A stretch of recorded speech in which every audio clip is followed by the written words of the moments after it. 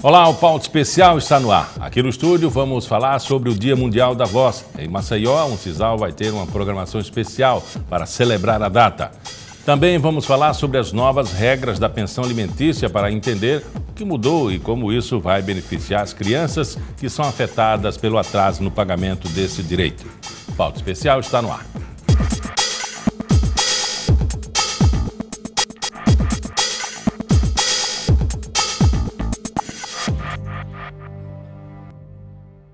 A voz é uma das ferramentas de comunicação do homem, mas é preciso cuidar bem dela para evitar problemas. E isso vale para todos, desde os profissionais que trabalham com a voz até as pessoas, de um modo em geral. Em abril se comemora o Dia Mundial da Voz. E para celebrar a data, a Universidade Estadual de Ciências da Saúde de Alagoas, a UCINSAL, preparou uma programação especial. A Vanessa Porto, que é fonoaudióloga, vai falar sobre o assunto aqui no estúdio a importância da voz, todo mundo conhece, mas a gente está cuidando bem dela? Normalmente não. Né? A gente, por ser algo tão inerente já fazer parte né, da, do ser humano, a gente termina deixando para lá e achando que é algo normal. E aí, quando começa a dar alguns sintomas, que a gente percebe que já está perdendo a voz, é que a gente vem alertar e perceber que ela faz parte né, e que tem que ter cuidados. Muita gente tem uma voz rouca e acha que é um charme. É. Até quando é um charme, até quando é um problema. Então, o que a gente recomenda é que se essa rouquidão persistir por mais de 15 dias, né, ela for recorrente, ela já é um alerta em que o corpo está indicando que algo tem algo errado. Em algumas profissões, ela pode ser sim considerada sensual, né? No caso de atrizes, a gente percebe.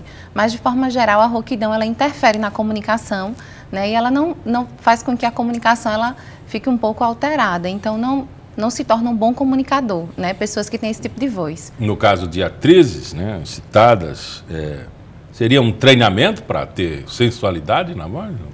Acho que em alguns casos tem pessoas que já têm uma voz um pouco rouca, né, e não, não querem mudar devido à profissão que exerce e não ter, é, não ter problema, né? Mas de caso a gente não costuma fazer treinamento para rouquidão, não. A gente quer tirar a rouquidão é, do indivíduo, mas há profissões que permitem que tenha rouquidão sem de fato prejudicar. O que pode significar a rouquidão como problema? Se essa rouquidão, né, é normal que a gente acorde uma vez ou outra rouca, mas se essa rouquidão persistir por mais de 15 dias, ela for recorrente, né, eu percebo que além da rouquidão eu tenho cansaço na voz, eu tenho fadiga, em alguns momentos a voz falha, eu tenho que ter um alerta, né, procurar um otorrino, otorrinolaringologista para fazer o exame, que é a videolaringoscopia, e assim identificar se essa rouquidão de fato gerou alguma doença, alguma patologia, mas a gente observa pelo tempo. Né? Quanto mais tempo ela persiste, a gente costuma dar esse tempo de 15 dias, é que é indicativo de algo. É, é um, um, indicativo, por exemplo, que a prega vocal não está funcionando bem, tem algum elemento Isso. estranho, alguma coisa? Isso, pode ter um elemento estranho que a gente vê que é muito comum ter o nódulo vocal, que é chamado de calo, né? As pessoas conhecem por calo. Muito comum dar em professores, que são profissionais da voz, que usam em excesso. Então, a rouquidão já indica que tem alguma coisa estranha lá. E aí a gente vai ver através do exame o que é que está acontecendo com essa produção da voz, né? O que é que o corpo faz quando está produzindo. Se a vibração da prega está adequada, se não está, se é necessário um tratamento, se é necessário uma cirurgia, enfim, vai depender de cada caso. Mas Num caso como esse, assim, repouso, é difícil falar para um profissional da voz, ou um professor, né, um locutor, um ator, dizer, Isso você precisa ter repouso na é voz. É difícil. É difícil, principalmente porque o professor, na hora do intervalo, que a gente pede que ele fique um pouco mais em repouso, é a hora de estar tá lá, né, é, colocando papo em dia com outro colega, de conversar sobre algumas coisas da escola. Então, é difícil. Então a gente pede realmente alguns cuidados que ele tenha, né? Que ele se hidrate durante o decorrer do seu trabalho, tome o máximo de água possível, água em temperatura ambiente, que também o, o local de trabalho seja adequado, né, para desenvolvimento daquele, daquela profissão, o ambiente ser muito ruído, o ambiente ser muita poeira, tudo isso também vai desencadear problemas na voz. É, tem muitas coisas indicadas aí que acho que o telespectador está pensando, meu Deus, eu não, não consigo fazer isso, né? É, algumas coisas a gente como profissional, né, como ser humano, a gente pode fazer e outras dependem de, de terceiros, né? No caso dos professores, as escolas elas devem passar por uma mudança, uma modificação de ambiente para que o intervalo não interrompa e tenha barulho no horário da aula.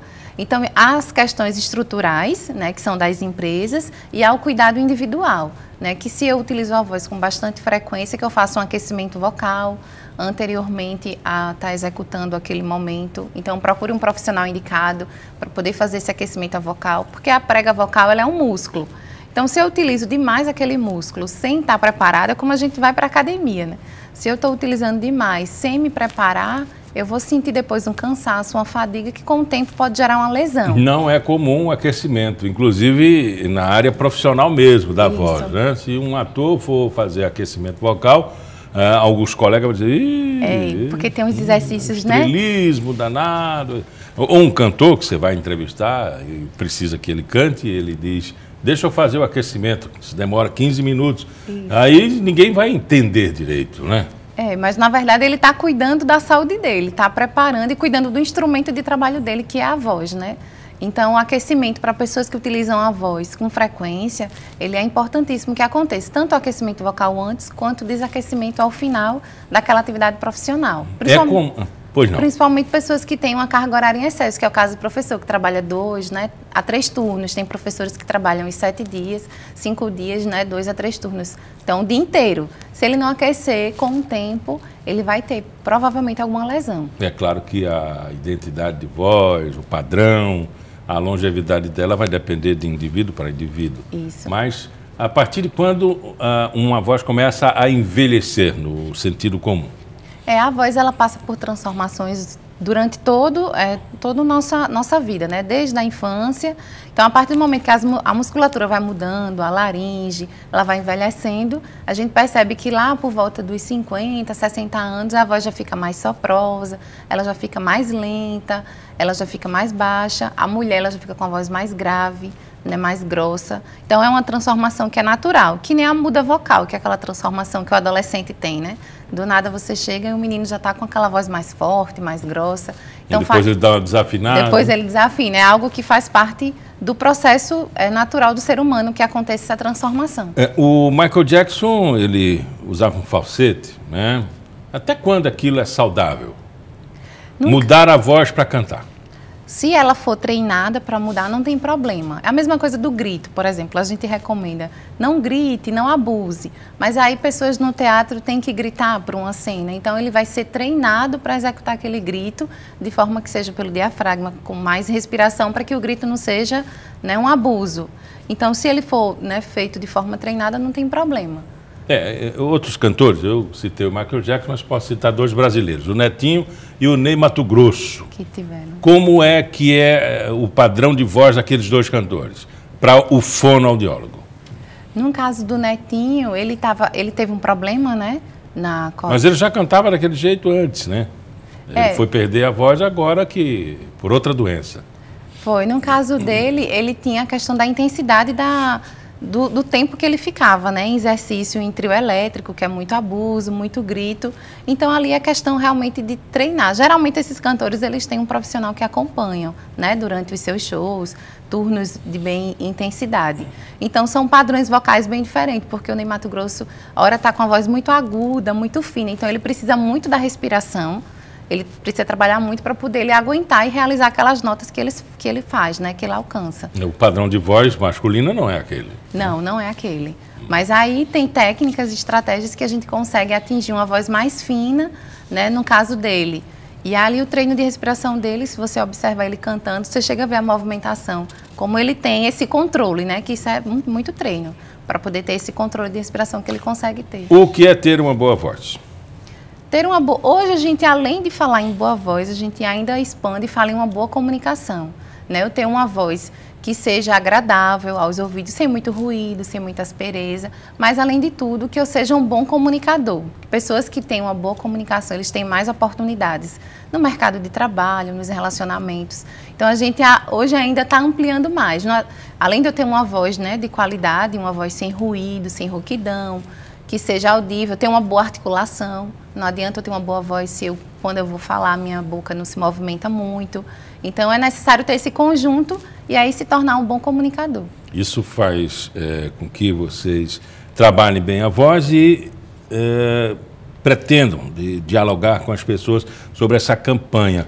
O foco é Nós temos um recado para a sua voz. Qual é o recado? É, o foco desse ano é Minha Voz, Minha Identidade, para alertar justamente a população que a voz ela nos representa, né? Ela traz a nossa personalidade e que a gente tem que cuidar de algo para que não venha a porventura perder a voz. Então o intuito é divulgar para a população em geral. A gente tem algumas atividades com profissionais da voz. Quais? Tem, a gente teve ontem uma oficina com os pastores da Convenção Batista, mas durante a semana vai ter com cantores de igreja. É uma campanha que não vai ser só em Maceió, vai ser em vários municípios aqui do estado. Né? Messias, Campo Alegre, Viçosa, vão ter fonoaudiólogos nessas regiões desenvolvendo ações. Então tem cantores de igreja, tem locutores, tem professores, tem estudantes de pedagogia. Tá um público bem diverso e tem a população em geral, né? Porque a voz faz parte de qualquer ser humano e qualquer atividade profissional. É um recado também não tão específico para profissionais, mas o público em geral, né? Algum produto que a gente usa e que isso pode danificar, por exemplo, é, enxaguantes bucais, é, é, produtos como alho, gengibre. É bem comum. A gente percebe que é bem comum é mel com própolis, aquelas soluções caseiras, né? Quando eu estou com a voz muito mal, aí eu utilizo. A gente recomenda que não né, que não utilize mel, pastilha de gengibre, mas em uma seguinte situação, eu preciso utilizar aquela pastilha porque posteriormente eu vou usar a minha voz.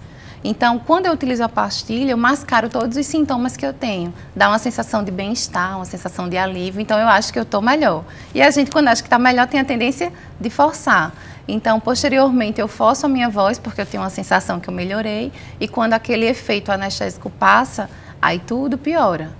Então a gente pede que nesses casos não se utilizem essas soluções caseiras. Se caso for utilizar, que depois repouse a voz e não eu utilizar para poder continuar. Né? Eu tenho uma aula amanhã, sair com a minha voz muito mal, aí tenho muita, muita pastilha para a tarde dar continuidade. Então, nesse caso, provavelmente à noite já vai ter um resultado bem pior. Conversamos com a Vanessa Porto, ela é fonoaudióloga e professora da Uncisal. Muito obrigado pela entrevista. Que agradeço. No próximo bloco, a gente bate um papo sobre as novas regras da pensão alimentícia. Agora, quem não paga pode ter o nome no SPC e Serasa e ainda ser preso. Voltamos já.